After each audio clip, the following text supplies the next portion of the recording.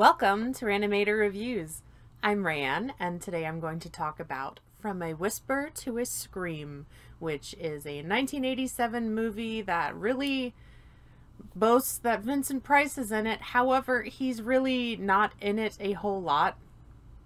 Not a spoiler, just putting it out there. This seems to happen a lot with um, quite a few movies that are like, oh, Sid Haig is in this movie, and then he's in it for like 30 seconds. But I feel like Vincent Price gets a little more than 30 seconds. So he does play a historian, librarian type character whom is trying to explain to this woman that the town that they live in is just evil. It's the root of all of these tragedies, and he has just a few examples why. This woman has been following his niece's case, who was just recently put to death by lethal injection because she killed a bunch of people. And he seems really unfazed. He's just like, yeah, it's the town. Uh, read, read this.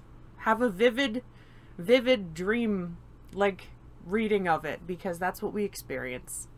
So it's an anthology movie, which is right up my alley. I love anthology movies. The first story is about a character who is just completely enamored with this woman and he's kind of like having an internal battle with himself to ask her out and he finally musters up the courage to do so.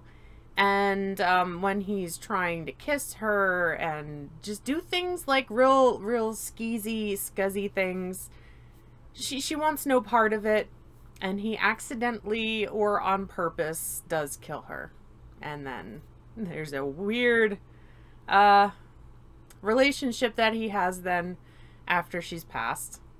The next story is about eternal life and maybe the perils that come along with it. It centralizes around a character who we pretty much assume he's a really bad guy. He gets shot. He somehow gets himself out in the middle of the little swampy bog area in a rowboat and is bleeding out when a man finds him. And as the guy, you know, saves his life. He goes out at night to do something, and what does this guy do but snoop through all of his stuff and finds out secrets that he then really nastily wants to get from him. So we'll leave that one off there. There is a story about a woman who falls in love with a carnival worker whose specialty is eating razor blades, glass, just all things you really don't want to be eating. We find out that it's not metaphorically his heart that's in the carnival, but perhaps really his heart that's in the carnival. And uh, there's another story about, I think it's set in Civil War times, and they find out that the war has ended. And there's a group of, I think, three of the militia that just don't really acknowledge that it's over. They end up stumbling upon a camp of children that are just a, a little batshit, and they're, you know, it's a little Lord of the Flies. They've made their own little society and don't really want to deal with adults, but they have uses for them. So I'm to leave it off here as it is spoiler free. What did I like about this movie? Uh, obviously, that it's an anthology movie. I really enjoyed that. I thought um, the stories were at least entertaining. I thought that the acting was decent. Um, the gore, the gore is nice. Was very happy with that. And uh, I, I love Vincent Price, so that's always a delight. What did I dislike about this movie?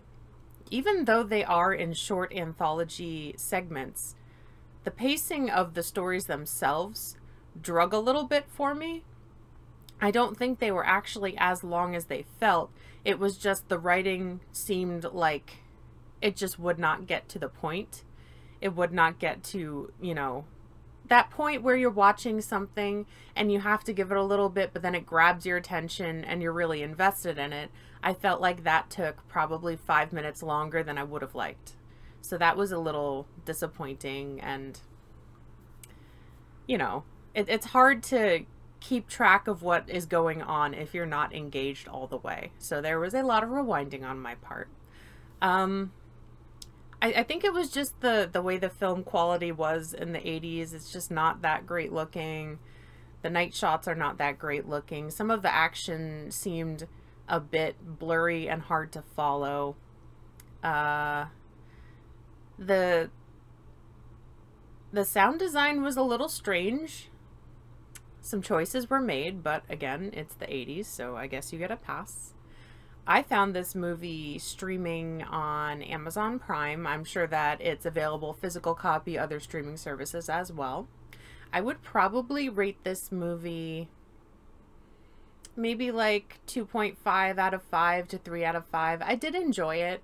Um, I probably would watch it again. I wonder if there's a restored copy somewhere that would be just a little clearer because Mama's got some vision problems.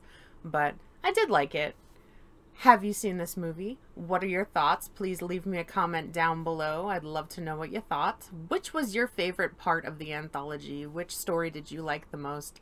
I think personally, I would go with the carnival one because I, there's just something about horror and carnivals that I enjoy so much.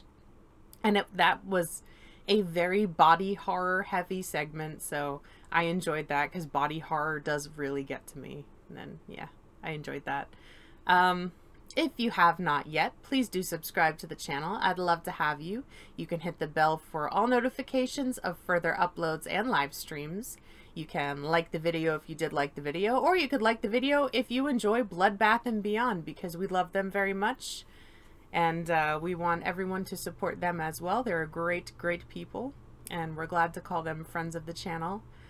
Uh, you can find me on Facebook at Rayanimator Reviews, Twitter and Instagram at Rayanimator. My solo as well as reviews with the groom are available in podcast form on iTunes. Thank you to the Farsighted Network.